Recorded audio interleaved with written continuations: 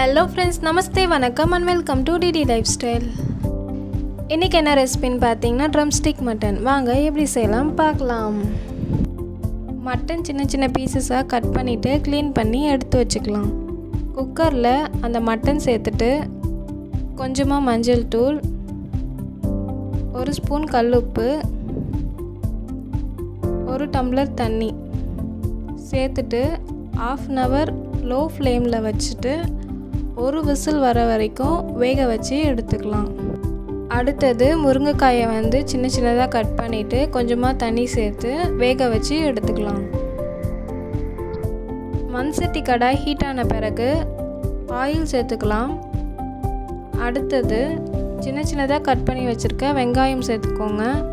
சேர்த்துட்டு golden brown colour வர வரைக்கும் வதக்கிக்கலாம். ரெண்டு பச்சை மிளகா காரத்துக்கு சேர்த்துருக்கேன். மசாலா பேஸ்ட்டுக்காக இஞ்சி பூண்டு கிராம்பு சீரகம். இது நாலுமே நல்ல ஒரு ஃபைன் பேஸ்ட்டாக அரைச்சிக்கோங்க. இந்த மசாலா தான் இந்த குழம்புக்கு யூஸ் பண்ண போகிறோம் வெங்காயம் வந்து இந்த அளவுக்கு வதங்கின பிறகு மட்டன் வேக வச்சுருக்கோம் இல்லையா? அதையும் இதில் சேர்த்துட்டு வதக்கிக்கோங்க. அடுத்தது வேக வச்சுருக்க முருங்கைக்காய். சேர்த்துட்டு ஒரு அஞ்சு நிமிஷம் போல் இந்த எண்ணெயிலே நல்லா வதக்கிக்கலாம்.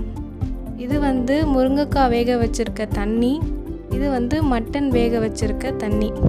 உப்பு கொஞ்சம் சேர்த்துக்கலாம். அடுத்தது மஞ்சள் தூள் மிளகாத்தூள் ரெண்டு ஸ்பூன் சேர்த்துருக்கேன். உங்கள் காரத்துக்கு ஏற்ப மாதிரி மிளகாத்தூள் சேர்த்துக்கோங்க. உப்பு பார்த்தீங்கன்னா மட்டன் வேக வைக்கும் போதே சேர்த்துருக்கேன். அதனால் அதையும் பார்த்து சேர்த்துக்கோங்க.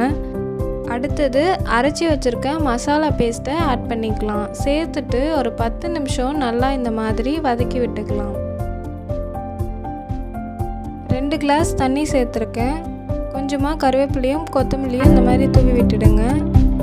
இந்த குழம்பு வந்து ஒரு பத்துலேருந்து பதினஞ்சு நிமிஷம் வரைக்கும் நல்லா கொதிக்கணும். ஒரு மூடி போட்டு மூடி வச்சுட்டு கொதிக்க விடுங்க. இந்த முருங்கைக்காய் மட்டன் குழம்பு கூட சாதம் அடுத்தது மிளகு ரசம். காம்பினேஷன் பார்த்தீங்கன்னா அட்டகாசமாக இருக்கும். ஒரு வாட்டி ட்ரை பண்ணி பாருங்கள் அவ்வளோதாங்க சுவையான சூப்பரான அசத்தலான ட்ரம்ஸ்டிக் மட்டும் மட்டன் தயார்.